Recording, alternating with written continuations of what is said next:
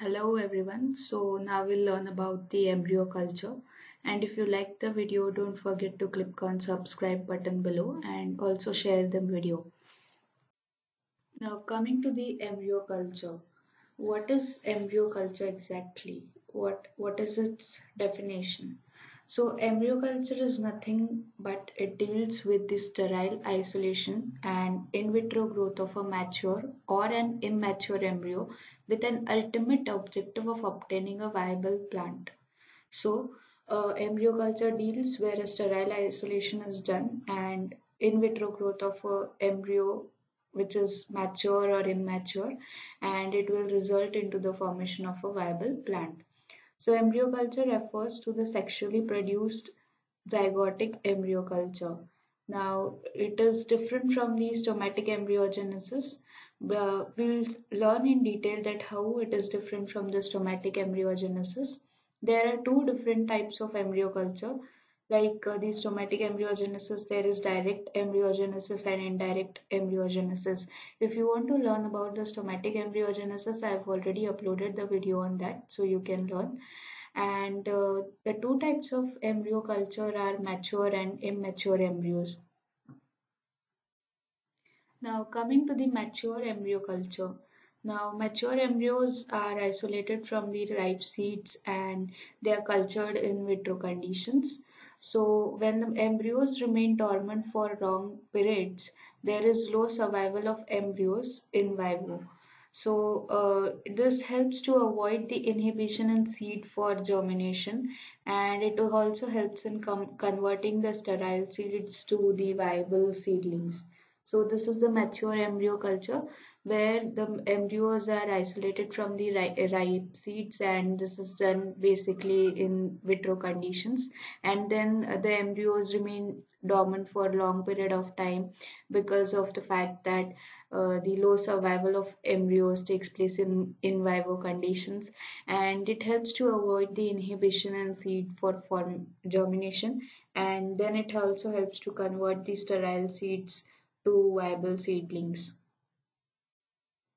the seed dormancy in plant species is the common factor. It is the common occurrence which is seen in the embryo culture and the chemical inhibitors or the mechanical resistance is exerted by the structure covering the embryo embryos. The seed dormancy is successfully bypassed by the culturing of the embryos in in vitro conditions.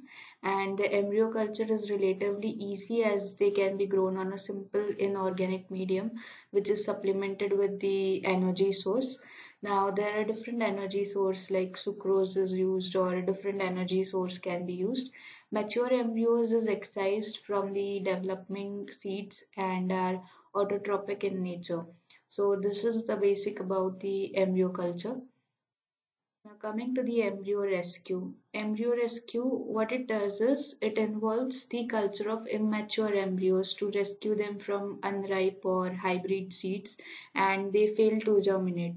So it what it does is it helps to avoid the embryo abortion and also it produces a viable plant.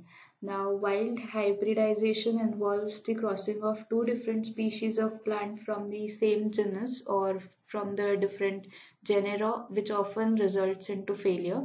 Normal development of zygote and seed is hindered due to the genetic barriers and the hybrid endosperm fails to develop leading to the abortion of the hybrid embryo. So the endosperm produces the toxins and it kills the embryos ultimately endosperm develops first and then it supports the embryo development nutritionally. Now the majority, majority of the embryo abortions are due to the failure in the endosperm development and the embryo abortion can be avoided by isolating and culturing the hybrid embryos prior to the abortion.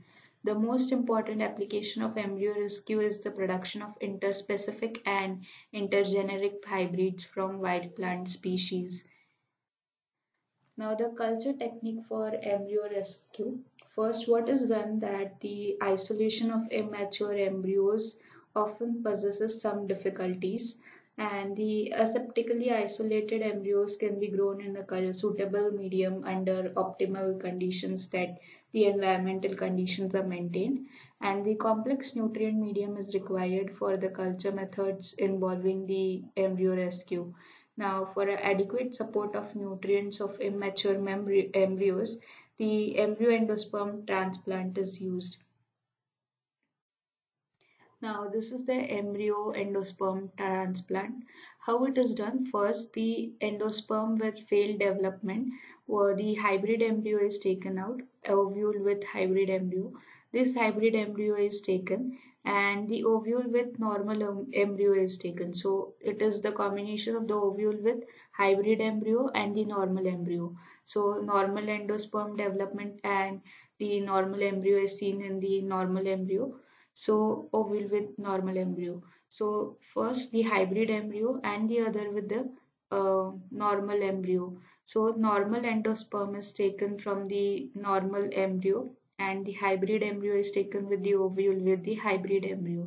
So crossing is done and then the embryo endosperm transplant is done.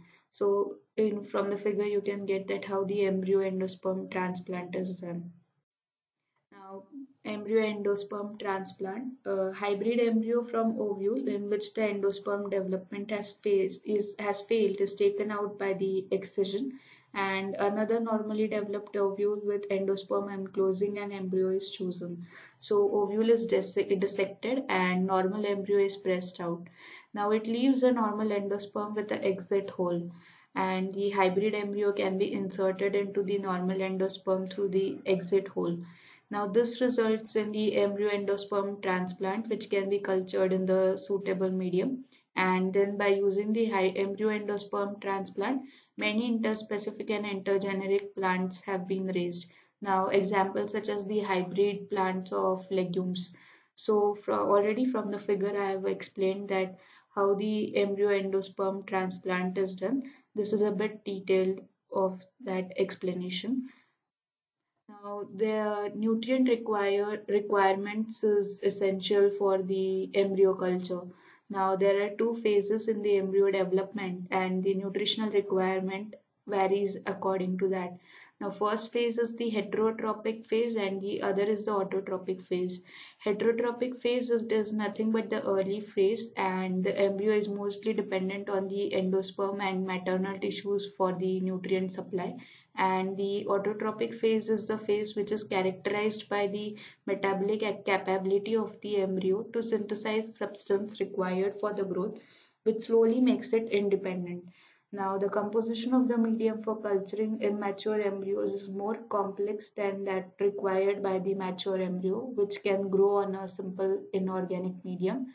So the transfer of embryos from one medium to another is frequently needed to achieve the development of embryos. So nutrient requirements, they are very essential. Now composition of the medium, that is the another factor that is essential for the embryo culture. The inorganic constituents of MS or uh, white media or B5 media are adequate and sucrose is mostly, mostly used as the energy source as I said before. Then the ammonium nitrate used as a source of nitrogen. Casein hydrolysate, which is rich in various amino acids, is also used commonly. And the natural plant extracts with embryo factor promote the embryo culture, like the one in liquid endosperm of the coconut milk is the example. Now, this is about the composition of medium. The other composition of the medium required are the embryo factor is believed to supply certain amino acids, sugars and growth regulator. The growth regulators are generally not, they are mostly not required as they induce callus formation and the embryo go, grow well at the pH of 5 to 7.5. So the incubation temperature that is required is 24 to 26 degrees Celsius and the beta growth of embryos is observed in darkness which are then transferred to the light for germination. Now during the culture conditions embryo grow on plantlet and then they are transferred to the soil for full-fledged growth of the mat to maturity. There are certain applications of embryo culture. The first one is the prevention of embryo abortion. Now, the incompatibility barriers in interspecific and intergeneric hybridization programs leading to the embryo abortion can successfully overcome by the embryo rescue. Many distinct hybrids have been obtained through the embryo rescue technique. So the prevention of embryo abortion, that is the first application of the embryo culture. The second one is the overcoming of the seed uh, dormancy. Seed, seed dormancy is caused by the several factors like the endogenous inhibitors, embryo immaturity, specific light and temperature requirements, dry storage requirements, and in some plants the nature of the period of seed uh, dormancy itself is too long. So the embryo culture is successfully applied to overcome the seed dormancy and to produce viable seedlings in the plant species. The third is the shortening of the breeding cycle. Now, some of the plants in their natural state uh, have long breeding cycles, and it is mostly due to the seed dormancy, which is attributed to seed coat or endosperm. And the embryos can be excised and cultured in in vitro condition to develop into plants within a short period. So, uh, like uh, Holly's uh, Christmas decoration plant can be grown in two to three weeks time through embryo culture. And uh, in real like if through natural process it takes around three years to come form the uh, this decorator decoration plant and which is required through the seed germination. So it takes less less time uh, that for other one is the production of haploids the embryo culture has been successfully used for the production of haploid or monoploid plants like example barley then the overcoming seed sterility. It is also the application of the embryo culture where certain plant species produce sterile seeds that do not germinate. Example, the early ripening varieties of cherry, apricot and plum. So seed sterility is mostly associated with the incomplete embryo development and it leads to the uh, death of the germinating embryo. So embryo culture, if it is used, it helps to raise the seedlings from the sterile seeds of early ripening fruits of uh, apricot and plum. plum. Then the other factor for application of the embryo culture is the clonal propagation. Embryos are uh, ideal embryos are ideally suited for the in vitro clonal propagation. And it is due to the fact because of the nature and they have the high regenerative potential. So it is possible to induce the organogenesis and somatic embryogenesis from embryonic tissues so these are the applications of the embryonic culture. So the embryo culture we have uh, finished with this topic and i hope that you like the video. And don't forget to click on the subscribe button below. Thank you for watching